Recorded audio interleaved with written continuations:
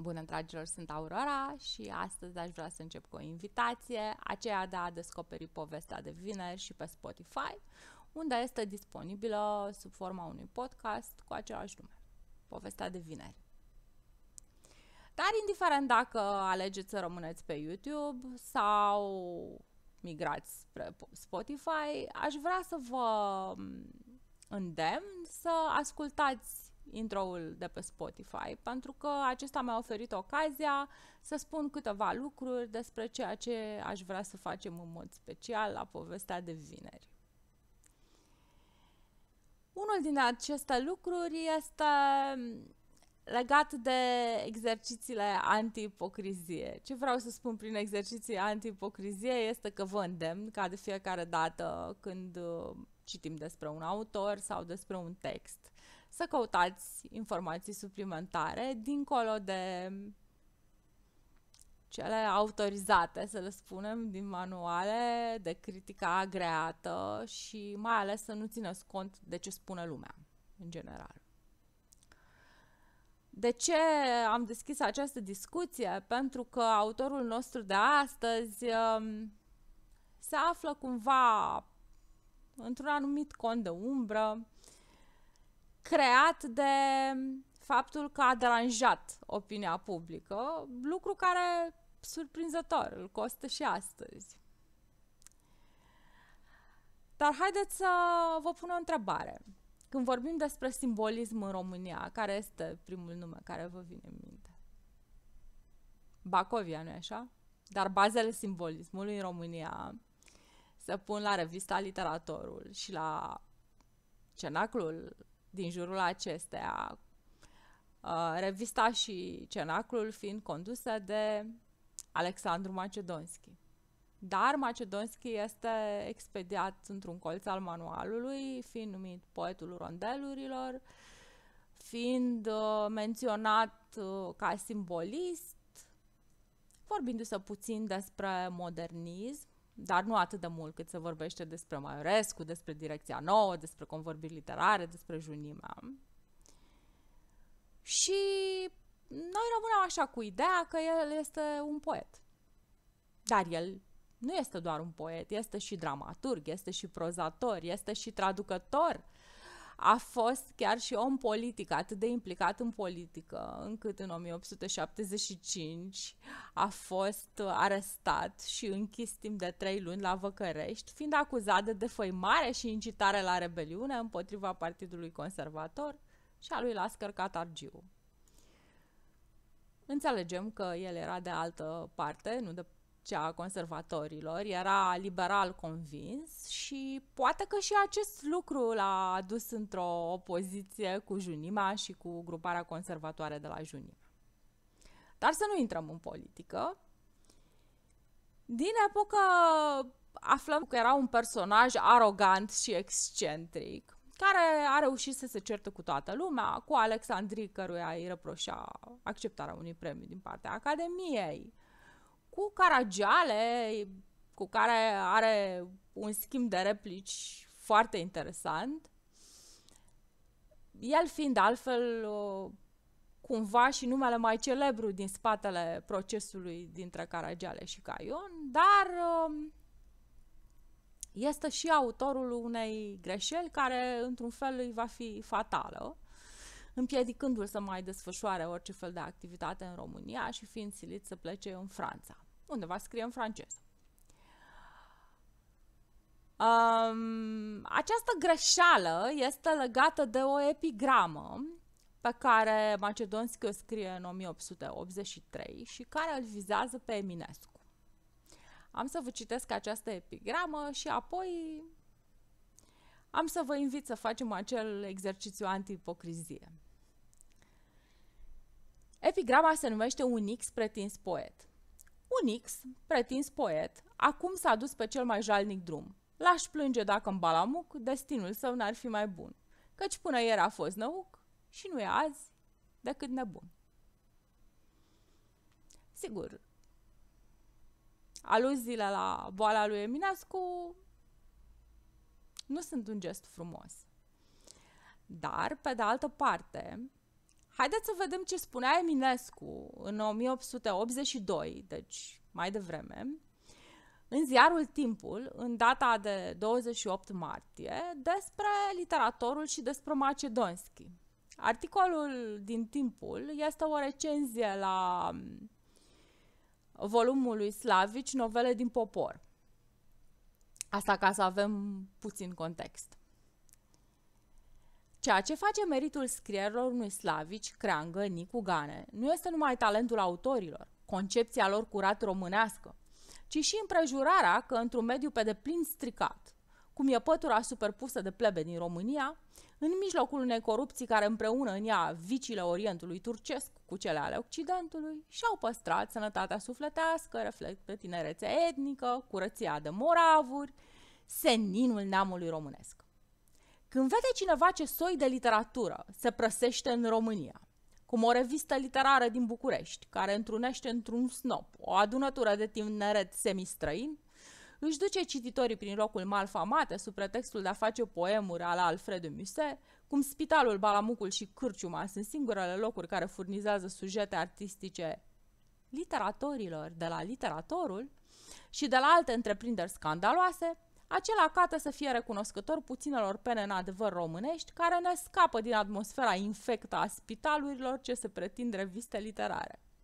În aceste spitaluri, unde mărginirea intelectuală a pretinșilor autori nu e întrecută decât de, malon, de malonestitatea lor plagiară și de obrăznicia cu care ei pe ei înșiși se proclamă mari autori, literele române au relații firește sterpe cu niște catâri intelectuali ceea nu oprește ca o seamă de acești catâri să fie împodobiți cu medalia Benemerenti.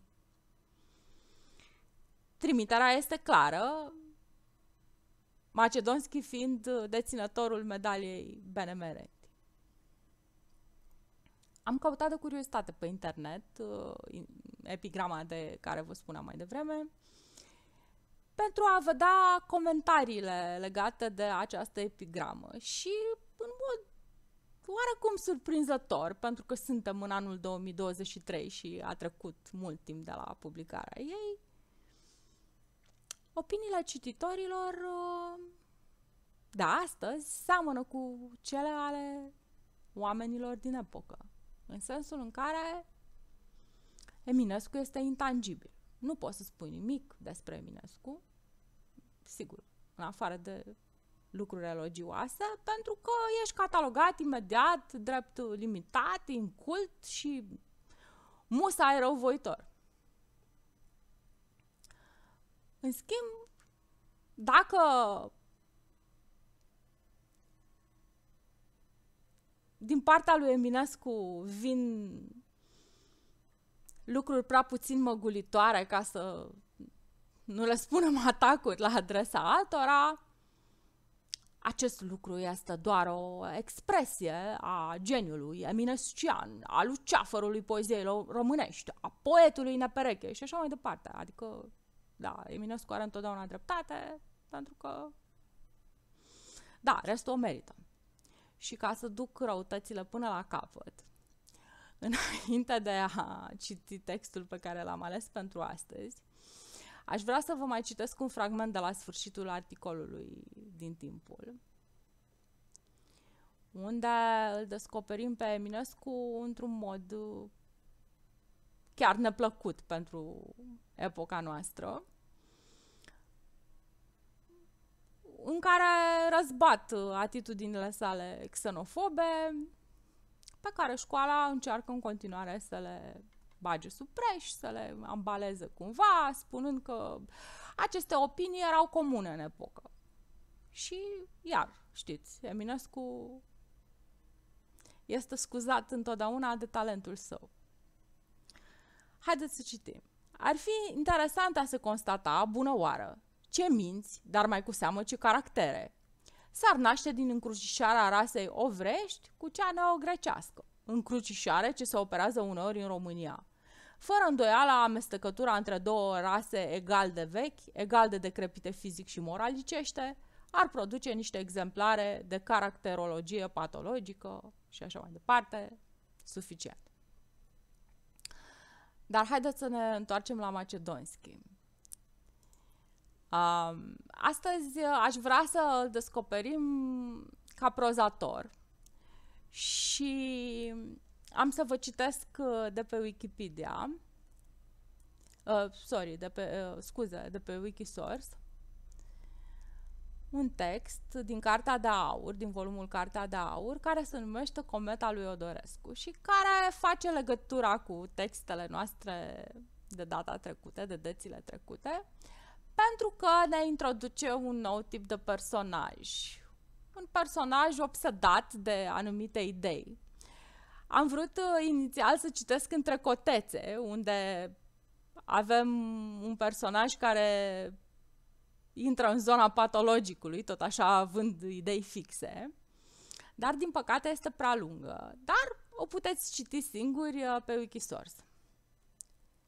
Cometa lui Odorescu Odorescu era un băiat bun, scurt, cu dispozițiuni napoleoniane ale puntecului și cu toate astea poet, poet în puterea cuvântului. Locuia la o mătușă, în prejurul bulevardului cel nou, bulevard ce se va numi al Colței, când va duce de la șosea la spital. Era în clasa a patra gimnazială, dar, deși cita pe capete romane, poezii, știință vulgarizată, bunăoară pe Jules Verne și pe Flammarion, rămâsese corigent. corigent. Publicase și vreo câteva versuri într-un ziar cotidian, însă aceasta nu entuziasmase pe respectabila lui mătușă, soaică de origine și rea, rea foc. Învață, ticălosule!" îi striga ea de câte ori îl prindea cu vreuna din acele cărți în mână și le rupea, îi le băga în sobă. În sfârșit, băiatul se disperase, părăsise domiciliul mătușei și de mai bine de șase zile dormea la un prieten care poseda un întreg stoc de cărți ale lui Flammarion. Astfel se împlinea aproape săptămâna de când Odorescu zburase în lumi transcendentale. Pentru stele, pentru infinit, renunțase chiar la scrierea în versuri. Ce începuse să-l trudească, acum era alta ambițiune. Hotărât. Tot astronomia n-are reprezentanți extraordinari în România și, așa fiind, de ce nu s-ar deda el la un asemenea studiu? Și de când se apucase să citească pe Flammarion, ce îl turbura mai mult era problema cometelor. Ah, de ce nu de Dumnezeu cel puțin să vadă și el una? Cât ar fi de încântat, cum ar observa-o, cum ar căuta să-i deslușească mersul și... Cine știe, poate, oh, dar aceasta ar fi o glorie prea mare.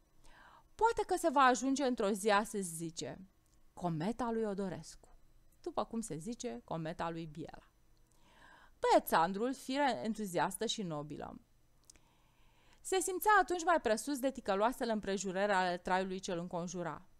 Ochii se împleteau de o lumină aproape tot așa de aprinsă ca a sâmburilor de comete și beat de bucurie, Gloria, Gloria, nu se gândea dacă a mâncat sau nu, așa că cezarismul pântecului său se democratiza pe zi ce trecea. Mătușa sa, odioasa burgheză, pândea de mult sosirea acestui moment psihologic și o trădare, Pusă în corent de amicul la care nepotul său dormea, îi ținu calea într-o seară tocmai pe bulevard, pe largul fluviu de asfalt și granit ce curge de la margini spre inima Bucureștilor și pe care lui îi plăcea să-l străbată în toată lărgimea, să-l măsoare în toată lungimea, cu ochii veșnic țintă pe stele, pe lună, pe cele patru colțuri ale orizontului, doar, doar de să o ivi cometa mult așteptată, evenimentul ce avea să hotărască despre ce va fi viața lui, superioară sau sau groaza groazelor și blestem al blestemelor, sau ce este viața tuturor celor care cad din ceruri la pământ. Ca aripa zdrobită de-a lumei perfidie, cu vise, cu amor, cu poezie. Vocea formidabilă a onoratei mătușe se înțelege că, în acea seară mai cu seamă, îl surprinse într-un mod cu totul neplăcut. Tocmai îi se păruse, ori era poate și realitate, că zărește pe cer o lumină neobișnuită, bizară, roșie, bătând puțin în albastru și chiar întrucâtva în galben, afară numai dacă nu se va fi înșelat.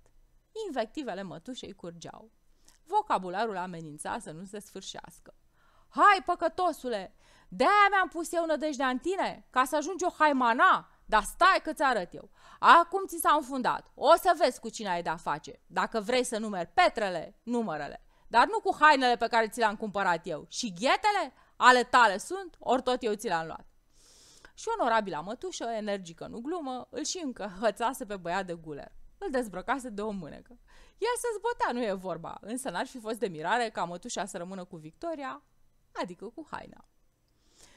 Cum și ce fel să făcu, Dumnezeu știe. Destul că în acele momente de grea cumpănă, o doresc cu ridică ochii în sus. Așa se întâmplă totdeauna când ești în primejdie. Ridică ochii în sus, însă minunea a minunilor, văzu, văzu și nu era nălucă, văzu o cometă, o cometă adevărată, o coșcogea cometă, cu sâmburele roșu de te băga în răcori și cu un fel de coadă, scurtă, e adevărat, dar a cărei scurtime era răscumpărată de faptul că era cilindrică și tricoloră. Această cometă era portocalie, roșie și albastră și bățâia. Oricine ar fi văzut-o, nu putea decât să simtă părul zbârlindu-i se în cap.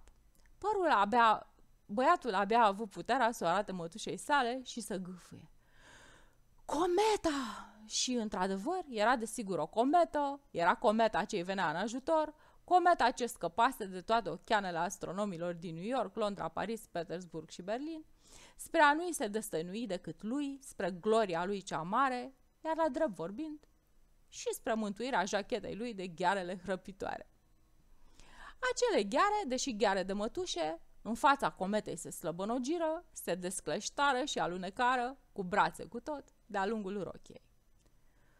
Cometa, sfârșitul lumii! Vai de mine și de mine! Hai, Iancule, să ne împăcăm! Fură vorbele ce izbârnuirea deznădăjduit pe buze și podidite de lacrimi se aruncă de gâtul nepotului pe care îl năbuși cu sărutări. Negreșit Codorescu, cu toată împăcăciunea, nu pierdu vremea. Din acea seară chiar detesfoară în București despre marele eveniment. Nu prea o văzuse nimeni, dar cumva o văzuse cineva, afară de directorul observatorului meteorologic, care, de cum îi sosise zvonul, nu numai că o văzuse, dar și determinase direcțiunea. Ea se mișca de la vest spre nord-vest, înclina spre pământ, avea o densitate amenințătoare, asupra căreia nu se putea înșela cu o iotă. Și dacă a doua zi seara nu se va arăta, era o dovadă că se apropie de pământ cu iuțeală. Într-adevăr, în astronomie este ceva elementar că atunci când cometele sunt destinate să se depărteze, să nu se ciocnească cu pământul, rămân noaptea din ce în ce mai mult pe cer, urcă spre zenit. În puțină vreme București fură în mișcare. A doua zi seara, lume din lume, unii cu binocluri, alții cu ochiane, se grămădiseră pe bulevard, năvăleau spre șosea, așteptau arătarea rătăcitorului și înfricoșatului astru. O doresc cu nota în glorie ca în elementul lui. Trecea de la o grupă la alta. O văzuse între orele 10 și 10 și jumătate. Trebuia să se ivească. Și era cu coadă. Firește, cu coadă roșie, galbenă și albastră. Cu toate acestea, miezul nopții sună, sună și ora 1, iar cometa nu se ivi. O parte din lume pleca acasă decepționat. Altă parte, cea până la care teoria apropierii de pământ a cometelor ajunsese, era cu totul îngrijată. Unii atribuiau ivirea cometei și sfârșitul lumii detronării mitropolitului primat. Păgânii însă, și câți nu sunt păgâni în ziua de azi, nu credeau, pe când oborenii puneau cometa în socotala intrării în București a împăratului Austriei, sosire ce, e și drept a se constata, nu s-a putut întâmpla decât după îndeplinirea unei eclipse de lună. Oricum ar fi fost, Odorescu, de la o zi la alta, își văzuse visul cu ochii. În București nu se mai vorbea decât despre cometă. Cometa lui Odorescu. Cu încetul, totul reintră în liniște. Trecuseră două săptămâni. Gloriile, chiar cele mai mari, în unele țări sunt efemere. Odorescu scăpase cu succes de corigență. Poate că profesorii în urma evenimentului erau și interesați să nu facă altfel. Pe el însă l-aștepta în curând o mică decepțiune. Într-o seară, funestă noapte, se afla la amicul său, la cel cu cărțile lui Flamarion. Cometa a apărut. Era ea, nu încăpea nicio îndoială. Mergea de la vest la nord-vest. Înclina vădit spre pământ. Coada ei scurtă, dar compensată prin faptul că era groasă și cilindrică, acea faimoasă coadă roșie, galbenă și albastră, se mișcană bădăios, imita câteodată legânarea pendulului, altădată se da peste cap de trei ori. Sâmburele ei era roșu ca para. Odorescu și amicul său n-avură vreme să schimbă părerile. Cometa se apropia repede, vâjia de lua lumea în cap, dar odată cu dânsa, ce lua înfățișarea unui lampion venețian, se zărea și un pătrat sumbru. Colosalț meu de hârtie vânătă, al unor copii de peste drum, și atârnaseră de sfoară cometa lui Odorescu. Și ca să încheiem în aceeași notă, aș vrea să vă mai spun despre Macedonski, că el, pe lângă faptul că a încercat să-și breveteze o invenție vizând uh, stingerea incendiilor în coșurile de fum, cu care credea că va concura companiile de asigurări. Are și un text în care povestește despre niște aparate care ar putea să facă aerul din casă, așa cum le place locuitorilor, să le aducă aer de munte, să le aducă un aer la temperatura pe care și-o doresc, fiind astfel ca și Jules Verne, care este menționat la începutul acestui text, un vizionar. Dacă v-a plăcut și dacă nu v-am jignit prea mult sentimentele cu discuția de la început, știți ce aveți de făcut?